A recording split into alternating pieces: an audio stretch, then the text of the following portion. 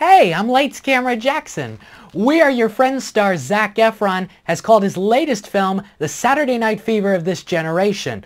But instead of a white jumpsuit and disco, Efron sports headphones and blares techno music as a DJ looking to make it big. Efron's Cole Carter is part of a four-friend posse. They live in California's San Fernando Valley on the backside of the Hollywood Hills. All four are struggling to make money and desperately want to become successful. Cole meets superstar DJ James Reed, played by Wes Bentley, Seneca Crane in The Hunger Games, and Reed instantly takes Cole under his wing, vowing to help Cole perfect a signature track that could send him on his way to the top. A lot more happens in We Are Your Friends, mostly involving the four friends, and some enemies, and friends who become enemies. A love triangle emerges as Cole begins to take an interest in James' assistant and sort of girlfriend, Sophie, played by Emily Ratajkowski.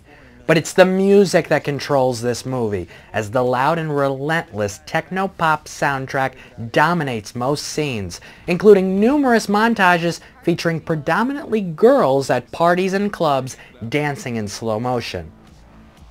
And yet even with all this beat, We Are Your Friends has very little energy. In one distracting segment, Cole takes you completely out of the moment with graphics, charts, and narration about the science of dance music, explaining in detail how 128 heartbeats per minute is the perfect way to get people moving. Unfortunately, this script kept me at a steady 60 heartbeats per minute for the entire film. Efron's Cole is in a complete daze from start to finish, even in a couple of fight scenes, and his buddies are pure stereotypes. Jon Bernthal from The Wolf of Wall Street does have a solid supporting role as a shady real estate tycoon.